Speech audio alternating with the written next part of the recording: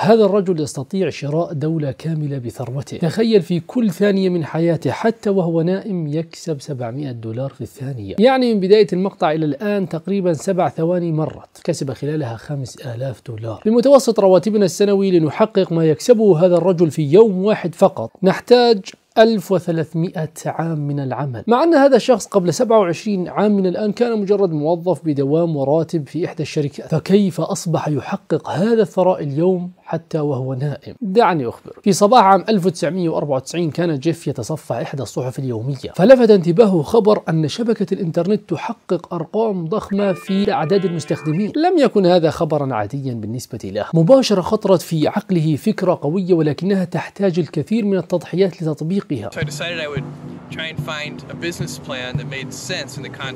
Growth. فكرته كانت قائمة على بيع الكتب. بعدما لاحظ الضعف الموجود في سوق التجارة الإلكترونية وقتها فكان هدفه تقديم شيء يحتاجه المجتمع ويفيد الناس. كانت الكتب أول منتج فكر به جيف عن طريق بيعها عبر الإنترنت. الفكرة كانت جديدة كليا لم تخطر على بال أحد من قبل أن تقوم ببيع الكتب عبر الإنترنت. الناس وقتها معتادة على شراء الكتب من المكتبات لا من شاشات الحاسوب. فكر خارج الصندوق. المهم لتطبيق فكرته كان لابد من تضحيات فاستقال من عمله وطلب من والديه أن يدعموه ماديا فلم يكن أحد يؤمن بفكرته وقتها. بل كانوا يعتقدون أن الفكرة سخيفة لذلك لم يستثمر معه أحد.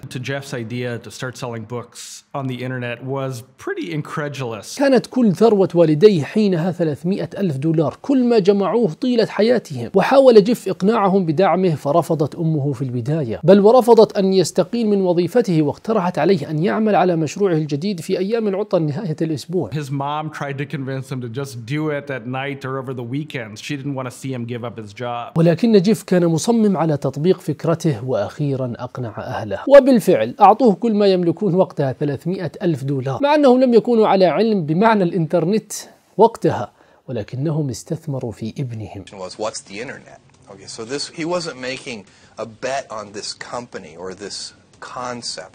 He was making a bet on his son. كان جيف متصور لفكرته تماما من جميع النواحي ليضمن نجاحها وكان واضحا في أهدافه التي يريدها حتى عندما سألوه لماذا سيشتري الناس منك أجاب ببساطة لأنه سيكون لدي كتب أكثر من أي شخص آخر. فوضع اسم أمازون لمتجره دلالة على طوله الممتد العابر للكثير من الدول واهتم بكل التفاصيل تقريبا. إلا أن شركة أمازون وقتها لم تحقق أي ربح. أو حققت ربح قليل جدا. وكانت ستغلق عدة مرات قبل أن ترى النور حتى. وهنا بدأ الناس ومن حوله بنعته بالمجنون. وكانت شركات بيع الكتب التقليدية تستهزئ منه ومن فكرته. ولكن جيف على الرغم من الأرباح القليلة استمر في إرضاء العميل. على الرغم من الخسارة ليس إرضاء العميل فقط بل الهوس في إرضائه. This culture of customer obsession, obsessive focus on customer, obsesses over our customers, totally obsessing over the customer experience. وهنا تكمن أهمية السعي وعدم الاستسلام لتحقيق النجاح. ثم لاحقا الوصول إلى نم وارتاح يأتيك النجاح. فالأمر كله يتعلق بالمدى الطويل. وبالفعل بدأت شركة أمازون بالعمل من كراج منزله وخرجت أول شحنة من هناك. وبعد ثلاث أشهر فقط وصلت أعداد المبيعات إلى أرقام هائلة جدا. وبعد سنتين أصبح ينافس أكبر المكتبات في العالم. بعد هذا النجاح بدأ جيف بالتفكير بشيء أكبر من الكتب وبمكان أكبر من حدود بلده. الفكرة كانت في باله منذ تسميته للشركة بأمازون. نسبة إلى نهر الأمازون في أمريكا الجنوبية الممتد الطويل المتشعب مع روافده التي تخترق الكثير من البلدان وهو ما يشابه تصوره لشركة أمازون. وفي عام 2002 تعاقد بيزوس مع شركات عالمية لبيع الملابس والإلكترونيات والألعاب والمنتجات الرقمية. فأصبح أمازون في سنوات قليلة جدا أول وأفضل متجر يبيع كل شيء في الولايات المتحدة والعالم. وأمازون اليوم هو أكبر متجر إلكتروني في العالم. أكثر موقع تتم زيارته على كوكب الأرض أكثر من يوتيوب وغيرها من مواقع التواصل الاجتماعي. مخازن المنتجات في أمازون لوحدها تتسع لأكثر من 10 آلاف مسبح أولمبي. يعمل لدى جيف ما يقارب من 33 ألف موظف. يصل متوسط صافي أرباحه إلى 2.4 مليار دولار سنويا. مما يعني أن جيف الآن وبعد سنوات قليلة من العمل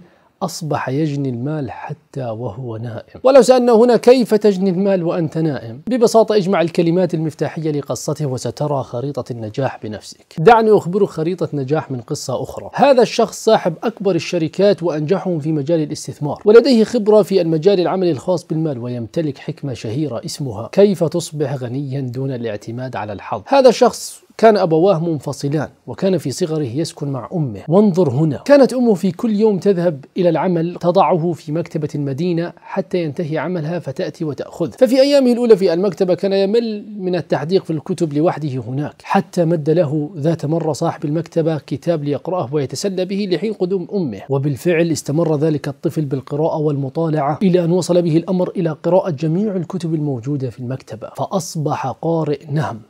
مما أتاح له بعدها أن يكون مستثمر خارق. نافال له أقوال جميلة لخص به حصوله على المال حتى وهو نائم. يقول ابحث عن الثروة وليس المال أو المكانة. فهناك فرق أن تكون ثريا أو أن تحصل على مرتب عالي من عملك. فكان يؤمن هذا الشخص بفكرة الدخل السلبي يعني مثل عقار أو أسهم في شركة أو الاستثمار في البورصة. فهذه الأمور برأيه لا تحتاج إلى مجهود لتحقيق عائد مالي. فهي تنمو بشكل ذاتي لوحدها مع مرور الوقت. يعني يأتيك المال دون الاعتماد على وجودك في المكان مثل الوظائف التقليدية. من أقواله الأخرى أيضا اكسب المال بعقلك لا بوقتك وعليه على المستقبل البعيد ستحقق مستقبلا خال من المشاكل. لو سألنا الآن مجددا كيف تجني المال وأنت نائم برأي نافال اجمع أيضا الكلمات المفتاحية لقصته وسترى خريطة النجاح بنفسك. بالتعليق على الاستثمار السلبي من خلال البورصة كما في خريطة نجاح نافال. دعني أخبرك عن منصة إيفست. إيفست هي شركة استثمارات وتداول عالمية مرخصة من قبل أعلى الهيئات العامة للرقابة المالية. يمكنك الاستثمار في الأسهم المتنوعة وكما أخبرتكم سابقا أن هذه المنصة لها قسم تعليمي كامل في هذا المجال